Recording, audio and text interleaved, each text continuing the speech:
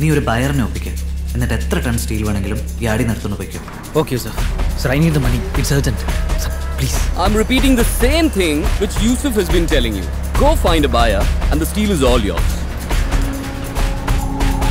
Hello sir I mean മാർക്കിനെക്കാളും കുറവായിട്ടില്ലേ തരാം sir എന്തെങ്കിലും ഉണ്ടെങ്കിൽ ഞാൻ അറിയിക്കാം ചെറി. ആ ഇത് ജെറിയാണ് സെന്റൂർ ഗ്രൂപ്പിൽ നിന്ന്. ഹലോ ഇത് അൽസാദിക്കാണോ? ഞാൻ ഓഫീസിനോട് സംസാരിച്ചിരുന്നു സ്റ്റീൽ റിക്വയർമെന്റിനെ കുറിച്ച്. പ്ലീസ് കോൾ മീ ലേറ്റർ ശരി ഞാൻ പറഞ്ഞതല്ലേ എന്തെങ്കിലും ആവശ്യം ഉണ്ടെങ്കിൽ ഞാൻ അങ്ങോട്ട് വിളിക്കാം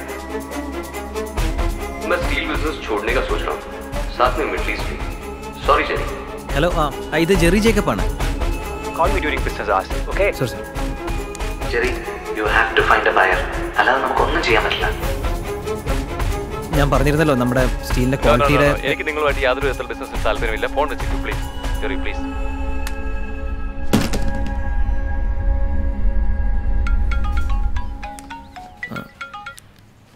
ഇത് റൂബൻ ജോർജ് ആണ്. എനിക്ക് കുറച്ച് സ്റ്റീൽ സ്ട്രക്ചേഴ്സിന്റെ റിക്വയർമെന്റ് ഉണ്ടായിരുന്നു. ഇമീഡിയറ്റ് ആയിട്ട് ഡെലിവറി ആക്കോ ചെയ്യാം സാർ.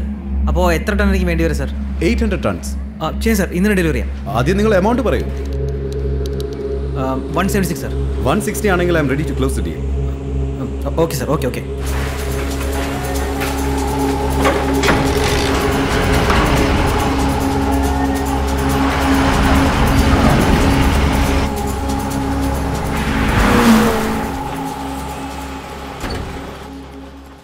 Sir പകുതിയിലോട് കൊണ്ടുവന്നിട്ടുണ്ട്.